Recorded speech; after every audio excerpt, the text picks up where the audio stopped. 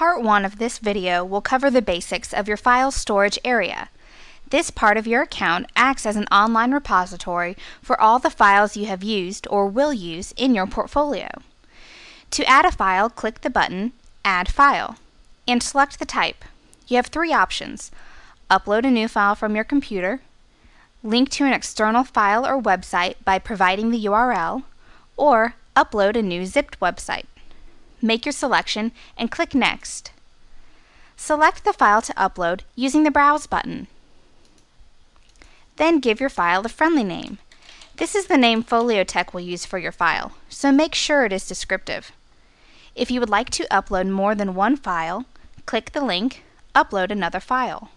When you have all of your files selected, click OK.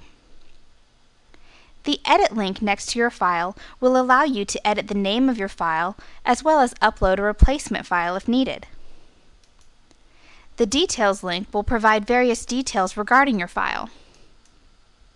If you need to remove any files, simply click on the checkbox for the file and click Remove Selected Files.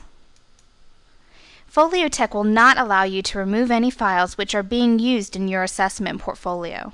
In that case, you would need to first remove the file from your assessment portfolio, then remove the file from the file storage area. To export all of your files to your desktop, click the button Export All to Zip. If you are getting low on your file storage space, click the link Manage your file storage. Here you can either purchase additional space or learn how to conserve existing space. This concludes part 1 of the video. Part 2 of this video will address the resources and evaluations areas of your Foliotek account. You can access your resources by clicking the Resources link in the Assessment menu. This area will store any resources that your program provides for you. Simply click on the name of the resource to view it. To access the evaluations that have been scheduled for you, click on the Evaluations link from the Assessment menu.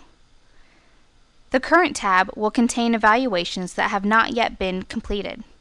If your school requires you to submit your portfolio for evaluation, you will see a red Submit My Portfolio link next to the name of the evaluation. If you do not have this link, it means that your portfolio will be automatically submitted when the evaluation is due. Once an evaluation has been scored, the scores must be published to you by the portfolio administrator. These completed evaluations can be accessed by clicking on the Completed tab. To view your scores, click on the name of the evaluation.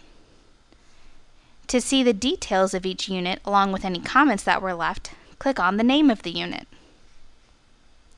If you do not see any completed evaluations and you feel this is an error, please contact your portfolio administrator so he or she can publish the results to you. As always, if you need additional assistance, click the Help link in the top right corner to receive instructions on all aspects of your account. This concludes part 2 of the video.